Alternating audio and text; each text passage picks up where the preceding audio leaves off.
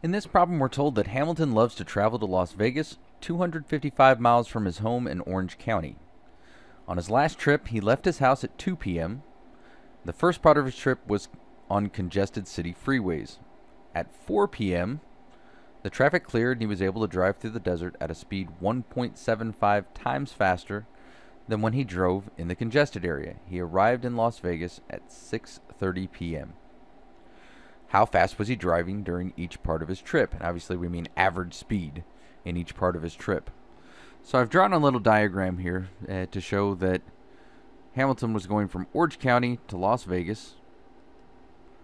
From 2 to 4 p.m. he was in congested traffic and then from 4 to 6:30 p.m. Uh, he was driving 1.75 times faster on average, and we know the total distance is 255 miles. So again, let's set up our uniform motion table. Distance equals rate times time. So congested traffic, and then in the desert.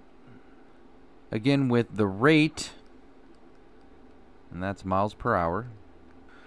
We always wanted to find the variable as the slower of the the two rates when when we have different rates. So we're looking at the congested would be the slower one, so that that's going to be r or whatever variable you choose.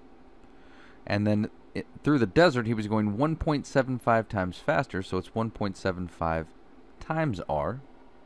The time when he was in the congested traffic, he went from 2 to 4 p.m., so that's 2 hours. And then when he was going through the desert, it was from 4 to 6.30, so 2.5 hours. As always, distance equals rate times time. So we've got 2 times r for the distance he traveled in the congested traffic. 2 hours times the rate in miles per hour that he was going in that congested traffic. And then for the trip through the the part of the trip through the desert, we have 2.5 times 1.75 r. And we know that the total distance traveled is 255 miles. So now we can set up a sum of 2r plus 2.5 times 1.75r equals 255. The distance traveled in the congested area plus the distance traveled in the desert together equals 255 miles.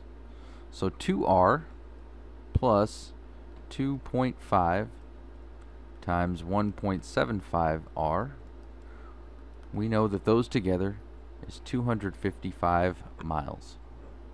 So we'll distribute the 2.5, 2r plus 4.375r equals 255. Combine like terms, we have 6.375 r equals 255.